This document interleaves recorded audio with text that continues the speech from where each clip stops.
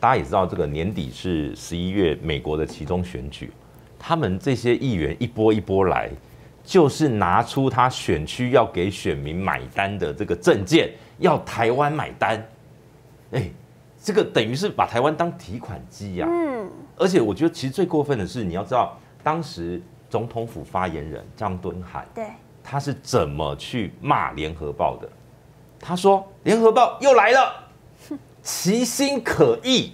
嘿，他说联合报呢，呃，用这个什么强销哦这种的字眼，简直是什么这什么对台美关系毫不尊重，对访宾很这个这个这个怎么不尊重？哎，对台美关系毫无帮助，其心可疑之外，他还扯出。把这个二零二零年哦，联合报发了一个函给总统府，争取他们要办一个什么世界的什么记者年会，类似这样的活动哦，新闻年会。嗯。然后呢，他说：“哎呀，当初啊，他总统府这个发言人他就说，当初我们收到这份公文呐，我们总统府根本没有相关预算，我们才觉得你是来强销嘞，哎，直接翻旧账啊。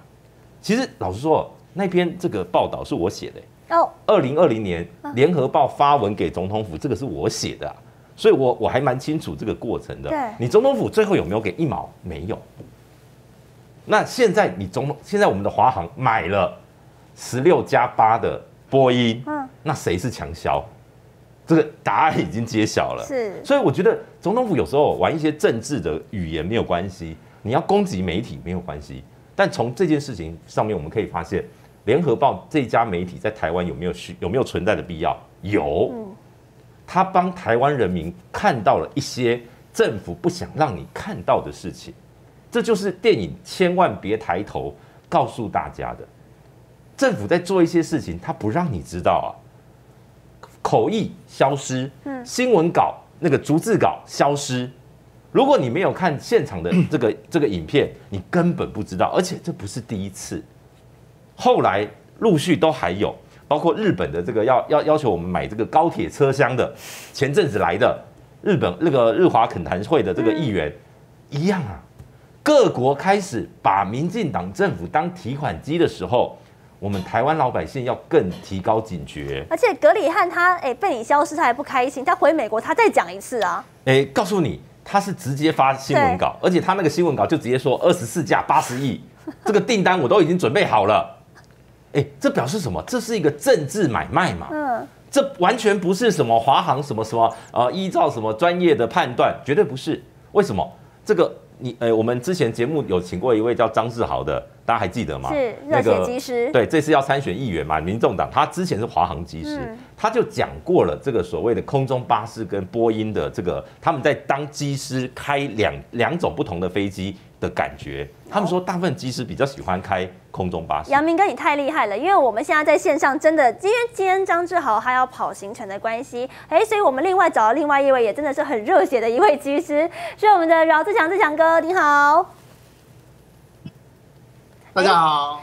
好，呃，虽然你不是飞华航的，但你对这个空中巴士跟波音之间，哎，据说应该是每一间航空公司都差不多嘛，就是两边的购买都会并成哦，不会单压哪一边。可是据说华航到现在已经变成是买空巴呢，还是买波音，还是会两相并成，但是这最后的结果要交给府方来定夺，干嘛呢？啊，那个航空公司是这样哈，它的概念是。这个飞机的机型是怎么样能够符合它的经济效益，能够符合它的载客或载货量，跟它这个航程的需求来做采购的。所以像我以前在呃长荣航空，我们有呃波音的飞机，有空中巴士的飞机，所以不一样哈。就是说这个跟公司没有关系，跟你的决策者、你的机队的需求会有很大的关系。当然，呃，波音的公司。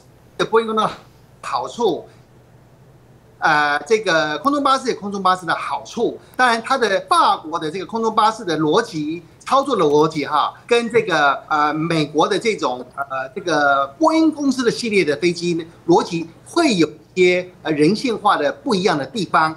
当然，在合格的这个飞行员，他经过专业的这个训练跟考核。它一定也都可以取得这个呃机型的这个执照跟证照，基本上是没有问题的。所以跟航空公司，我想呃比较大的关联就是说，哎，这个是不是关谷的公司占的成本多，跟这个呃私人。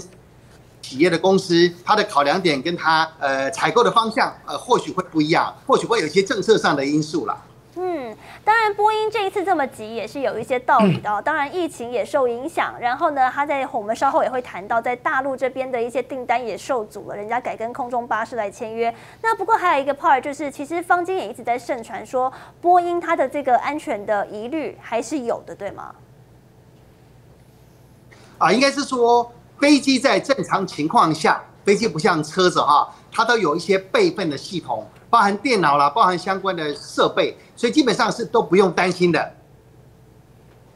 那都是呃非常非常的安全，那不会说是因为呃空中巴士呃的逻辑跟这个波音的这个系统的逻辑有点不一样，就有安全的疑虑。我相信这个是呃这个是非专业的讨论了哈。那当然，如果说像之前早期的这个呃七八七或者是呃七三七八百型的飞机，它有一些技术命令上需要做调整的。当发生了很多疑虑之后，它会统一的把所有的飞机做成更改或者是零件做更换，基本上就不会有问题。所以没有存在呃波音的公司呃飞机呃比较不安全，空中巴士的飞机、法国的飞机比较安全，呃没有这个疑虑。OK，非常感谢我们的志强哥今天在线上帮我们来示意了一下，让我们更了解整体事件的原貌。感谢志强哥，谢谢谢谢，祝你一个愉快的下午。谢谢。杨明哥，你刚刚太懂 Q 了，所以其实刚刚你讲到张志豪跟你分享过啊，这个是完全截然不同的。不过这一次，其实你刚刚也讲到啊，他们本来是会有去做权衡的，现在就是政府说什么就要你买什么。而且不要忘记哦，现在是华航，其实它相对公司经营比较碰到一个所谓的转捩点，就疫情这两年哦。对很多的国际的航空公司来讲，他们都会更强调所谓的 CP 值。那如果空中巴士，哎，一买一架波音的这个七八七，可以买两架多的这个 这个呃空中巴士，哎，嗯，对于很多现在的国际航空公司来讲，为什么现在空中巴士订单是满到不行？节省成本。哎，而且不要忘记哦，在美国本土哦。有大许多大报这几年近年有不断的有调查报道去报道波音工厂里面的一些，比如说螺丝松啦，比如说一些什么里面有一些施工的瑕疵啊等等哦，这一些哎，这不是我们其他国家的媒体，也不是空中巴士制造的国家去修理。这个波音呢是美国本土，为什么？因为波音的班机之前它的失事率确实比一般的这个在国际上确实稍微好像高了一点点。当然不是说所有的飞机都是波音的事情啊，就出事都不是波音，都是波音。但但是当今天你的这个呃制造的制成，比如说品质品管都被质疑的时候，甚至他们说什么在那个座舱里面居然可以看到一。那个维修的梯子直接放在里面，交机结果还有有有一个那个那个货那个货梯直接放在里面，让人家觉得很傻眼啊！所以，我当我们今这个摆明的就是政治买卖，那政治买卖当然就是为了解决所谓的政治问题，而我们帮这个格里汉处理什么呢？处理他，当他能够连任，他能够向他的选区的选民交代，他能够让他的在地的工业发展，那台湾得到什么？接下来可能就是，比如说这一些有台的议员能够在台在美国的国会提出所谓的台湾法案，比如说九月份马上要讨论的这个把台湾这个我们驻美代表处改成从从这个中华民国改成台湾，类似像这样的法案是民进党迫不及待想要得到的，嗯，因为这可以立刻刺激中国大陆，可以收割，然后呢，马上就会有所谓的抗中保台效应。而这个效应是他们必须要在年底之前选战之前得到的这个一个回馈，所以现在因为这群众议员在年底即将任期就要满啦，所以他们必须为什么九月马上要讨论了？嗯，而现在你看哦，连这个阿米塔吉他们都开始担心了，他们反而是担心哦，他们觉得，哎，我们需要这样子去挑衅中国大陆吗？那又会有点像裴洛西当初来台湾的概念，这个执政党这个拜登政府哦。他们白宫可能是持比较保守的立场，而国会是往前冲的，而这个国会往前冲，其中有很大的我们的动力来自于我们的政府，我们给他们说到做到，哎，我们台湾真是好棒棒，好伙伴，哎，只要对方来提出什么需求，我们马上开给他们。但是这个未来哦，其实包括像这次来的，他们讲是军事委员会，很可能跟军售有关。嗯，哎，结果马上你看他一离离开，马上这个就就宣布了，哎，就说军售案马上要宣布了哦。但真正的问题是我们现在的排序到底在乌克兰前面还是乌克兰后面？啊，就算我们定金付了，我们多久才能交？对，这些武器每个都延后啊。每个都说要二零二六、二零二七啊，在八零后面呢。没错，所以我们现在等于是缴保护费的概念嘛。那不管是今天的波音班机，还是未来的呃高铁车厢，这些我们在国际压力下所妥协下来的买卖，老实说，如果今天哎买到了好东西，我觉得很棒。嗯。但怕的是什么？怕的是因为政治买卖，所以最后对方是随便做。哦。如果今天到时候交机验收不确实。那有可能影响的问题更大，这个这个，因为它这个是一个政治买卖嘛，嗯，你华航就是得接收啊，你敢退货吗？到时候如果你真的发现里面有问题，你你敢不验收吗？我们等着看啊。所以这样的问题，这个才是我们所谓政治优于专业之后，就是我们更担心会发生的事情，就是当我们的安全、我们的这些人民的纳税钱，或者说华航。本身的这个专业的领导都荡然无存的时候，这才是这个国家整个整个这个崩坏的危机。大新闻大爆卦，订阅靠大家，每日功课，开启小铃铛，转发补课，每天都要支持大新闻大爆卦。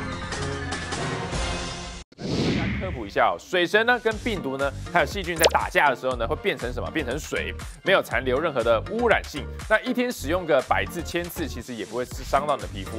那家里有小孩的、孕妇的都可以很适用。哪里买得到水神生成机？请上快点购，输入我的推荐代码就会有折扣哦。